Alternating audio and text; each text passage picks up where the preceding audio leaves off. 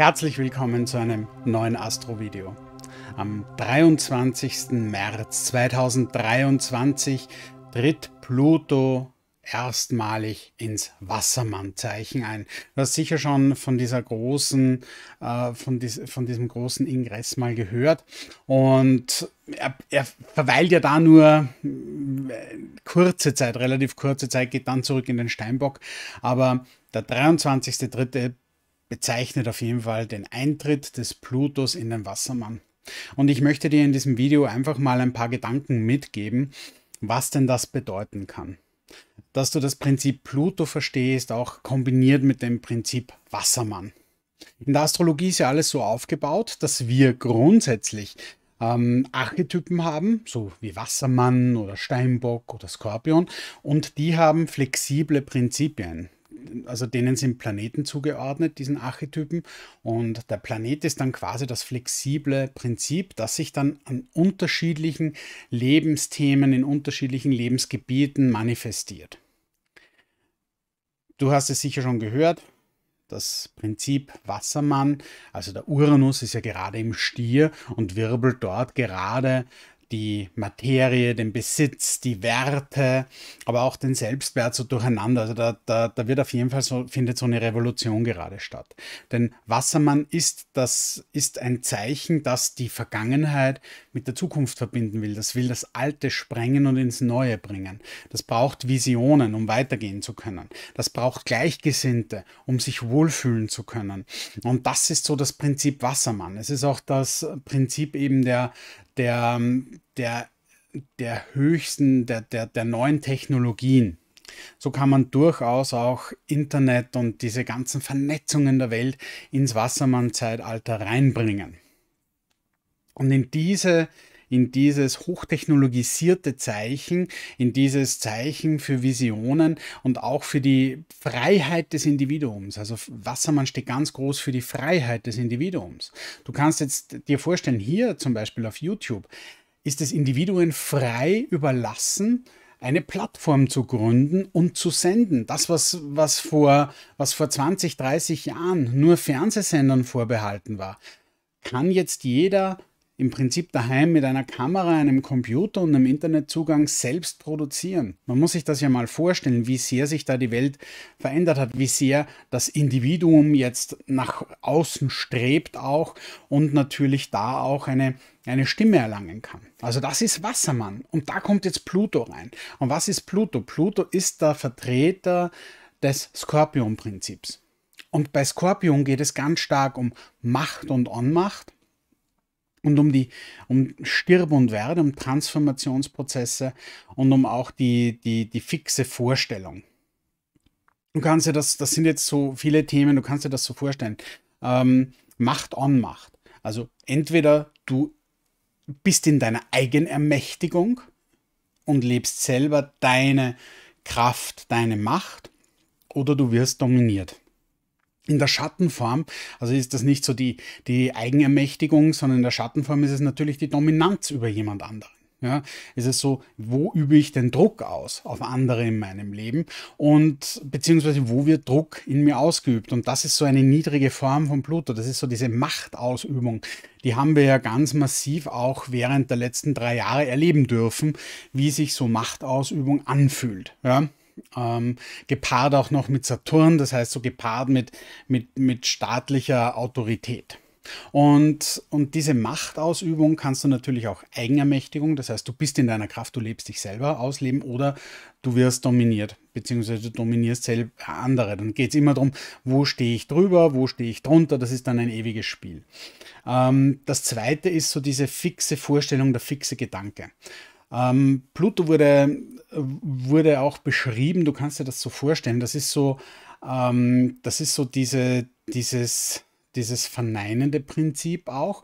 Also wenn du zum Beispiel, also das, das drohende Verneinende, wenn du nicht, keine Ahnung, nicht drei Doktortitel hast, dann bist du nicht gescheit. Wenn du nicht ähm, äh, eine Traumfigur hast, dann bist du nie liebenswert. Wenn du nicht ähm, keine Ahnung was, ja, verheiratet bist, bist du kein ordentlicher Mensch, ist ganz egal. Das sind solche Glaubensmuster, so ganz starke, fixe. ähm, dann, dann die sich halt festsetzen. Und das ist eben so Pluto. Und plutonische Gedanken wollen natürlich geboren werden, wollen auf die Erde kommen, um dann letzten Endes was erlöst zu werden und sterben zu können. Und so kannst du dir das auch vorstellen. Pluto ist auch das, äh, das Prinzip so des Aussiebens, des, der Transformation, des Stirb und Werde. Das heißt, du musst deine Gedanken, deine Prinzipien, um es jetzt mal auf der Ebene zu lassen, aussortieren, transformieren und dann wieder prüfen, was passt denn jetzt zu mir und was passt nicht zu mir. Genau dasselbe gilt natürlich auch für, für Mitmenschen.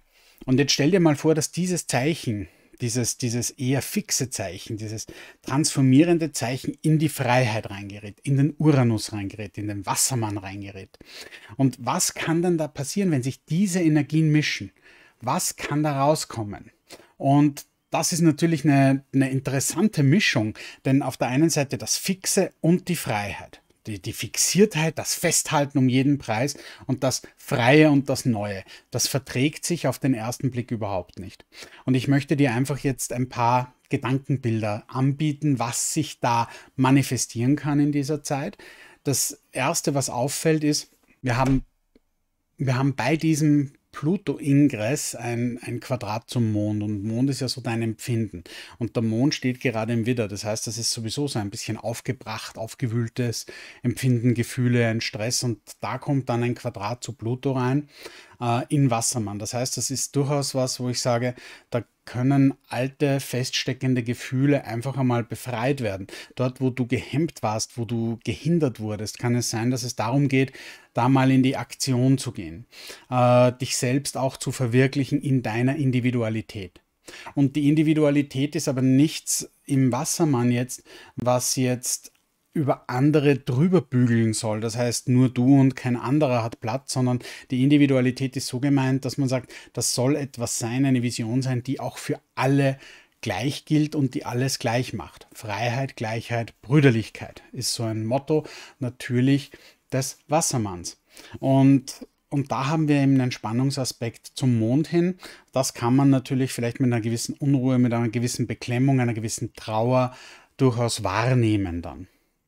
Ähm, das nächste, was halt dazu kommt, wenn man sich das so vorstellt, ich habe es eh auch schon in meiner Jahresvorschau gesagt, aber man kann sich das auch so denken, wenn man diese Technologie plus quasi eine fixe Meinung hat, dann, dann kann es sein, dass eben die Pole, die Meinungsmacher, die Spaltung noch mehr wird. Auch gerade auf sozialen Medien, dass man gerade nur mehr, also wirklich nur mehr die eigene Meinung vertritt und dass man da natürlich auch eine, eine, eine, ein Grüppchen um sich schart, die so denken wie man selbst. Ob das jetzt gut ist oder schlecht, sei mal dahingestellt, aber das ist natürlich eine, eine gewisse Gefahr.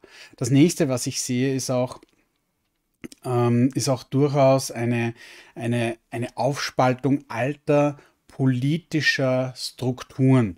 Das kommt dann auch mit dem Saturn in Fische zusammen, aber da kann ich mir durchaus vorstellen, dass immer mehr Parteien zerfallen, sich spalten, sich neu organisieren, reorganisieren, sodass es durchaus in einem demokratischen Prozess durchaus äh, schwierig sein kann, ähm, dass da, dass da funktionierende Demokratie ausgeübt wird, sagen wir mal so. Ein weiterer Punkt zu Pluto in Wassermann ist natürlich auch die Zensur, die Kontrolle, die, die, die Machtausübung über das Internet, ja, über das Freie. Also dass da noch mehr Meinungszensur kommt, dass da noch mehr, ähm, noch mehr passiert in Sachen, ich sage dir, was richtig ist, was falsch ist und das Falsche darf nicht gesagt werden. Also das ist da auch durchaus ein, ein, ein Potenzial, das in dieser, in dieser Konstellation nochmal hochkochen kann. Also auch ein strikteres Reglement, eine Machtergreifung über das unter Anführungszeichen als freie Plattform gedachte Internet. eine, eine Kontrolle, dass da strengere Gesetze auch kommen, Regeln kommen. Also auch das kann stattfinden. Ähm, ich denke, es ist auch ein ganz wichtiger Prozess, dass man das, an was man geglaubt hat, was man gedacht hat, was eine Vision ist, was einen weiterbringt, dass man das auf der persönlichen Ebene durchaus einer, einer Prüfung unterzieht. Dass ich immer sage, ist das in der heutigen Zeit wichtig, was ich mir vorgenommen habe? Soll ich vielleicht Ziele hinten anstellen? Soll ich vielleicht gewisse Visionen hinten anstellen? Bringen mich die persönlich nicht mehr so weiter oder sind die einfach nicht mehr zeitgemäß? Also auch da sollten wir schauen, was da passiert. Das nächste ist natürlich Pluto, ist auch, äh, kann auch im Machtmissbrauch und Missbrauch auch sein, unter gewissen Konstellationen natürlich auch bei der Sexualität. Und da kann auch sein, dass da noch mehr so ans Tageslicht kommt, ja, unter, unter Wassermann im Pluto. Aber es kann natürlich auch sein, dass diese, ähm, dass dass dieses, diese individuelle Sexualität, dass die auch noch einmal mehr hochgehoben wird. Das heißt, dass es auch so diese Zersplitterung, das, was wir ja jetzt erleben mit dieser Genderisierung und, äh, und jeder kann alles sein und so, das ist auch so ein bisschen so ein Teil dieser, dieses Wassermanns, dieser Wassermann-Energie, dass Männchen, Weibchen gleich sind und dass da alles eigentlich so, ja, gleich gemacht wird. Ja ähm, obwohl es ja meines Erachtens nach Grund unterschiedliche Energien sind. Da geht es jetzt nicht um die biologische, sondern da geht es um die Energie. Und wenn man selber nicht versteht, was deine männliche Seite ist, was deine weibliche Seite ist und das nur auf Sexualität reduziert, dann, dann, dann bleibt man auf einer ganz, ganz niedrigen Stufe stehen. Also so von der, nämlich von der, von deiner Potenz her, von deiner Entwicklungsmöglichkeit her. Und, und das ist, sehe ich natürlich auch als ein, ein großes Thema unserer Zeit. Ja, also du siehst, da ist ein Füllhorn an Möglichkeiten. Wir werden jetzt nicht gleich alles über uns hineinbrechen sehen, aber es ist natürlich ein, eine interessante äh, Vorschau auf die kommende Epoche und es wird definitiv spürbar sein. Das heißt, Pluto kommt dann in den Wassermann, kommt aus dieser rigiden Steinbock-Energie raus und dann schauen wir mal, was da passiert, wer wem transformiert, ob der Wassermann ein bisschen Pluto inspiriert oder Pluto eher den Wassermann runterdrückt. Ich denke, das kommt dann auch so auf dein individuelles äh, Dasein an und auch deine Persönlichkeit, wie du da gestrickt bist. Ich wünsche dir auf jeden Fall äh, für, die, für die nächste Zeit alles, alles Gute. Vielen, vielen Dank an dieser Stelle für zweieinhalbtausend Abonnenten. Also ich bin unglaublich dankbar, wie, wie sehr der Kanal wächst. Und wenn du auch Teil dieser Community werden möchtest, abonniere bitte den Kanal, like das Video, teile das Video. Ich freue mich natürlich riesig drüber.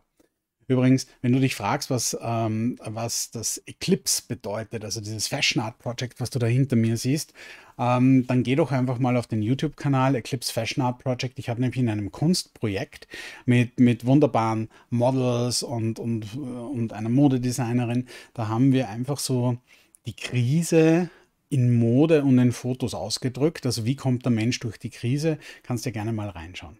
Ich wünsche dir alles Gute aus dem wunderschönen Lenz. Bis bald, dein Oliver Ereni. Danke fürs Dranbleiben.